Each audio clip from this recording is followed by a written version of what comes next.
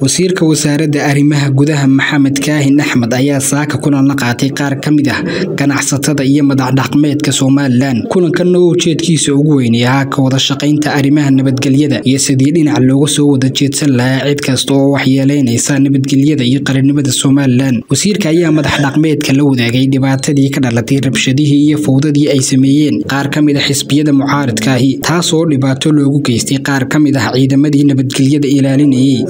madaxdhaqmeedka iyo ganacsatada ayaa dhankooga sheegay sida ay diyaarka ugu yihiin in ay wasaaradda arrimaha gudaha kala shaqeeyaan adkaynta nabadgelyada iyadoo dhinac laga wada istaagayo wax kasta oo nabadgelyada jamhuuriyadda somalilan wax u dhimaya. Iyo guud ahaanba wadajirka shacbiga. Kulamo dambe oo arrimahan laysaga imanayo ayay ku balameen wasiirka arrimaha gudaha iyo madaxdhaqmeedku iyaga oo wasiirka ugu mahadnaqay sida fiican ee uu qaabilay. Waxaa wasiirka ku wehelinayay kulankan gudoomiyaha gobolka maroodijeex maxamed cilmi axmed iyo agaasimaha guud ee wasaaradda arrimaha gudaha cabdirashiid xirsi cali. Geesta kale wasiir maxamed kaahin ayaa kulan la qaatay qaar ka mid ah waxgaradka aqoon-yahanka iyo ganacsatada beriga hargeysa. Kulankan ayaa la yskaga xog horeystay mudaharaadkii rabshadaha watay ee ka dhacay xaafada niyuu hargeysa oo keliya sida qoraalkan lagu xusay oo ay dhigeen xisbiyada mucaaradka ahi kaasoo dhibaato gaadhsiiyey bulshada iyo ciidamadii amnigooga ilaalinayay. Waxgaradka iyo ganacsatada deegaanka beriga hargeysa ayaa xaqiijiyey sida ay diyaarka ugu yihiin inay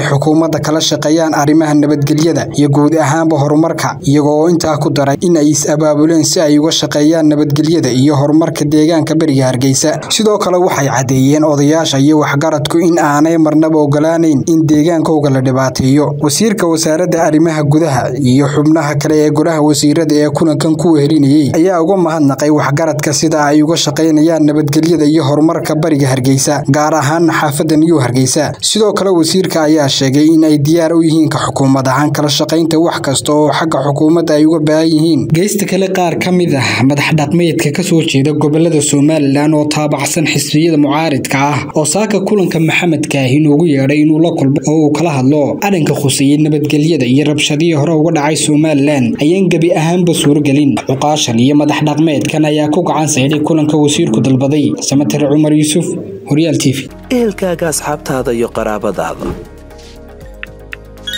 oo la soo deg abka dahabshiil si aad si fudud lacag ugu dirto marka aad la soo degto ablicathonka dahabshiil ee aad lacag ka dirayso isticmaal koorka khadmad la'aanta ee tree free oo kuu sahlaya in saddexda jeer ee ugu horreeya ee aad lacag dirayso aan wax khidmad ah lagaa qaadin dahabshiil howlfudaydiyahaaga maaliyadeed